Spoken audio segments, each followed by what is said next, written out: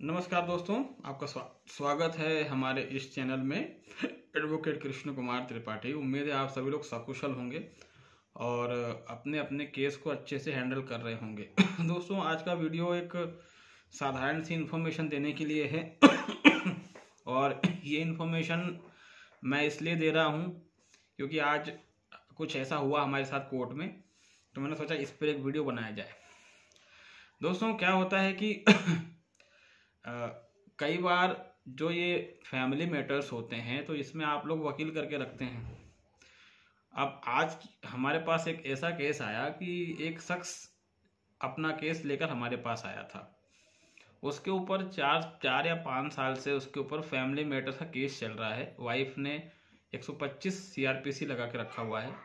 Divorce भी लगा के रखा हुआ है। और क्या कहते हैं, फोर नाइन्टी एट ए वगैरह भी लगा के रखा हुआ है। तो उसने पहले दूसरे वकील किए हुए थे। तो एक वकील साहब को उसने जब किया था तो वकील साहब को उसने फ़ीस वगैरह प्रॉपर दे रहा था। वो व्यक्ति बेचारा गरीब घर का है, ज़्यादा पैसे वाला नहीं है, उसको मध्यम वर्गीय परिवार का भी नहीं कह सकते। मतलब कह सकते हैं lower middle lower middle class तो उसने क्या किया कि वकील साहब किया हुआ था उसने अब तो उसके वकील उसका केस लड़ रहे थे। वकील साहब को समय समय पर फ़ीस भी ईमानदारी से दे रहा था वो। लेकिन क्या हुआ कि अचानक से क्या हुआ कि आ, उसके ऊपर मेंटेनेंस ऑर्डर हो गया। ओवरऑल मेंटेनेंस जो स्टार्टिंग से लेके जब तक ऑर्डर हुआ तब तक की तारीख का जो मेंटेनेंस था जो एरियर बन गया वो कुछ दो ढाई लाख समथिंग बन गया। तो उसने अपने वकील तो उसके वकील साहब ने कहा कि एक काम करो जो तुमको मेंटेनेंस ऑर्डर हुआ है वो पैसा मुझे दे दो। तुमको कोर्ट आने की ज़रूरत नहीं है। तुम्हारा पैसा जो है मैं कोर्ट में जमा करवा दूँगा। तुम्हारी वाइफ को दे दूँगा और उससे रसीद ले लूँगा। तो उसने अपने वकील पर विश्वास किया। परिणाम ये हुआ दोस्तों कि उसने अपने वकील साहब को लगभग ढाई लाख रुपए दे दिए। ये सोचे कि वकील साहब जो है, उसकी वाइफ को पैसा दे देंगे। लेकिन कहानी क्या हुई आप लोग समझ गए होंगे मेरे ख्याल से अब तक। कहानी ये हुई कि वकील साहब ने पूरा पैसा रख लिया अपने पास और उसकी वाइफ को एक रुपया नहीं दिया। और बाद में जो केस था, उसको एक्स पार्टी करवा लिया उसकी वाइफ के फेवर में। तो कोर्ट ने इस जो क्लाइंट आया था, इस क्लाइंट का जो है, इसके खिलाफ ऑर्डर कर दिया और एक्स पार्टी पूरा केस डिसाइड हो गया। और उसके बाद कोर्ट ने इनका वारंट जारी कर दिया। ये कहते हुए कि इनको आदेश दिया गया था कि ये ढाई लाख रुपए अपनी वाइफ के अकाउंट में जमा करवाएँ। मगर इन्होंने ऐसा कुछ नहीं किया है। इन्होंने कोर्ट की अवमानना करी है। तो उस व्यक्ति का, का वारंट निकल गया और पुलिस उसके घर पे आ गई वो और उसको जेल जाना पड़ा। उसने फिर जेल से वापस आने के बाद पूरी इंक्वायरी करी तो मालूम पड़ा वकील साहब ने तो कोई पैसा भरा ही नहीं है।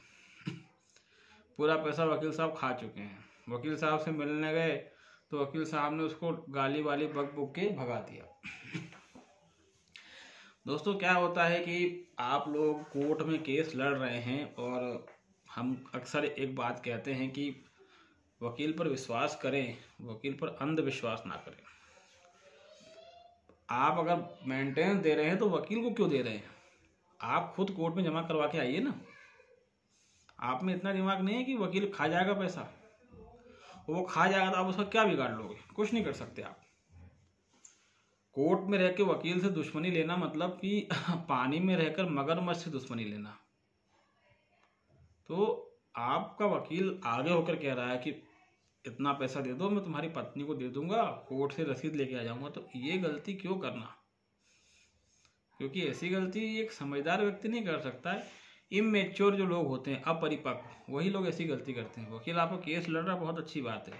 लेकिन इस तरह की गलतियाँ करना कि उस पर अंधा विश्वास कर लेना, उसको पैसे दे देना, वो आपके पैसे को खा जाएगा। आप क्या बिगाड़ लोगे उसका? फिर आप कहोगे कि वकील बुरा होता है। वकील बुरा होता है, मगर वकील परख लेता है कि ये मूर्ख व्यक्ति है। और वो आपकी मूर्खता का फ़ायदा उठाता है। एक कहावत सुनी होगी आपने कि जब तक मूर्खों के पास धन है, समझदार को खाने की कमी नहीं तो अपनी मूर्खता को को आप स्वीकार करें। ना कि आप ये कहिए वकील गलत है। वकील गलत है, मैं भी मान रहा हूँ। उस वकील को सज़ा भी मिलनी चाहिए। मगर आप इतने कितने मूर्ख हैं कि इतना बड़ा अमाउंट आप उसको दे रहे हैं। और वो बाद में पूरा पैसा खुद की जेब में डाल रहा है। मगर वो आपको कहीं से भी कोई सपोर्ट नहीं कर रहा। और फिर आप रोते गाते नया वकील आप अपना एक नया वकील ढूंढते हैं, वकील चेंज कर लेते हैं तो वो भी आपको बेवकूफ़ बनाता है। फिर आप कहते हैं कि यार सब वकील ही बुरे होते हैं। गलती आपकी ये है कि आप खुद जागरूक नहीं है तो वकील तो आपको बेवकूफ़ बनाएँगे ही, क्योंकि वो ये कई वकील ऐसे हैं, हर फ़ील्ड में अच्छे बुरे लोग होते हैं। और कोई सी फ़ील्ड हो दुनिया में, अधिकतर लोग जिन मतलब जिनका रेशो ज़्यादा है, वो बुरे लोग हैं। अच्छे लोगों का रेशो कम है। तो जब वकालत में आप आएँगे तो वहाँ भी तो बुरे वकीलों की संख्या ज़्यादा ही मिलेगी आपको। और जब आप उनकी लपेटे में आएँगे तो तो आपको ठगेंगे। अभी तो आपकी ज़िम्मेदारी है कि आप अपनी फ़ीस के अलावा उसको एक रुपया ना दें, मगर आप उस पर अंधविश्वास कर लेते हैं। और परिणाम ये होता है कि आपके लाइफ बर्बाद कर देता है। वकील और डॉक्टर अगर ढंग के ना हो तो ज़िंदगी बर्बाद हो जाती है किसी इंसान की। तो यही ये वीडियो बना के हम मैं यही संदेश देना चाह रहा था कि कोर्ट के वो कब सभी काम जो आप कर सकते हैं, वो आप खुद ही किया करें। आलसी करना या टाइम का वो देखना या फिर सोचना वकील साहब है, निपटा लेंगे, ये गलती ना करें। वकील साहब को वो वो काम करने दें जो वकील साहब को करना है। और आप वो काम करें जो आपको करना है। और मेरे ख्याल से जो जो कहानी मैंने बताई है, ऐसी घटना हो सकता है कई ऐसे लोगों के साथ घटी हो, जो मेरा ये वीडियो देख रहे होंगे। और ऐसी घटना इंडिया में बहुत से लोग, लोगों के साथ घट चुकी है। और फिर आप कोर्ट में कहते हैं कि, सर, हमने तो हमारे वकील साहब को इतना पैसा दिया था, उन्होंने जमा नहीं किया। तो फिर वकील साहब कहेंगे, सर, इसका क्या प्रमाण है, इसने मुझे पैसा दिया था? फिर कोई प्रूफ तो रहता नहीं है। और फिर जो पैसा वाइफ को देना था, वकील साहब खा गए। तो इसका अर्थ है कि कोर्ट को आपसे सिंपैथी होगी, सहानुभूति होगी, ऐसा कुछ नहीं होगा। फाइनली यही होगा कि आपको पैसा देना पड़ेगा, आप वकील बदलिए और साथ में जो पैसा आपको एरियर बन रहा है वो देना पड़ेगा। नहीं देंगे तो आप कोर्ट आपको जेल भेज देगा। तो सावधान रहें, सतर्क रहें। ऐसी गलती ना किया करें, ये गलती समझदारी का प्रतीक नहीं है।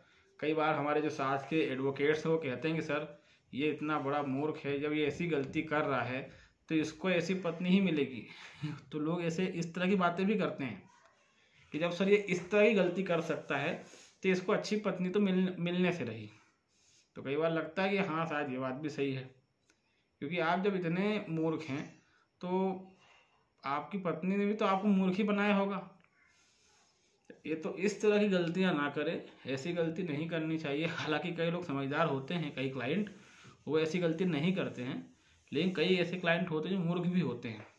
तो हमारा ये वीडियो उन्हीं लोगों के लिए है। ऐसी गलती ना करें, वरना फिर आप ना घर के रहेंगे, ना घाट के रहेंगे। एक बड़ा अमाउंट आप वकील को दे देते हैं। वो बोलता है, मैं पत्नी को तुम्हारी मेंटेनेंस ट्रांसफ़र कर दूँगा। ऐसा वैसा बाद मालूम पड़ता वकील खा गया पैसा। और ऐसा वकील करे दोस्तों जो प्रोफेशनल इथिक्स को फॉलो करता हो। क्योंकि ऐसे वकील कम हैं। आप थोड़े पैसे बचाने के चक्कर में एक सस्ता और क्या कहते टुच्चा वकील कर लेते हैं वो आपको इतना बेवकूफ़ बना देता है, और कि आपके डीएनए में घुस जाता है कि वकील तो बहुत बुरा है। और सब वकील बुरे हैं। तो अगर ऐसा है तो फिर इसका कोई सॉल्यूशन नहीं है। हम सब्ज़ी की दुकान में जाते हैं, और अगर हम सस्ती सब्ज़ी खरीदें कम पैसे में तो सब्ज़ी घटिया क्वालिटी की ही होगी। और फिर उसको खा के हम एक जनरलाइजेशन बना लें कि अरे, ये टमाटर तो बुरी प्रजाति है सब्ज़ी की। तो एक्चुअली टमाटर बुरा नहीं है, आप, आपका डिसीज़न बुरा था। अच्छी क्वालिटी के टमाटर भी तो आते हैं मार्केट में। तो उसी तरीके से आप जो वकील चूज़ करें, सावधानीपूर्वक चूज़ करें, और जब वकील के साथ हम रहते हैं कई महीनों तो कई साल तक तो ये समझ में आने लग लग जाता है कि वकील साहब का कैरेक्टर कैसा है, इनका नेचर कैसा है। ये हमें समझ में आ जाता है जिस तरीके से वकील बातें करता है, आपसे व्यवहार करता है, आपसे फ़ीस वगैरह का लेन देन करता है, ये चीज़ क्लियर हो जाती है कि वकील ईमानदार है कि बेईमान है, क्या इसका कैरेक्टर है अच्छा इंसान है, बुरा इंसान है, चालाक तो नहीं है। कई लोग पाँच पाँच साल तक वकील के साथ रहते समझ नहीं पाते वकील कैसा है, क्योंकि वो बिल्कुल उस वकील पर अंधा विश्वास शुरू कर देते हैं और वकील उनको अच्छा टोपी पहनाता है। तो यही बातें बतानी है दोस्तों तो ऐसी गलती ना करें। आप पर मेंटेनेंस वगैरह का ऑर्डर होता है या कुछ भी, कोई चेक बाउंस का केस है, कैसा भी केस है, उसका पैसा आप ही लिया या दिया करें। अपने वकील के माध्यम से ना किया करें, वरना आखिर में पछताना पड़ेगा आपको। तो उम्मीद है ये वीडियो हमारा जो है आपको पसंद आया होगा।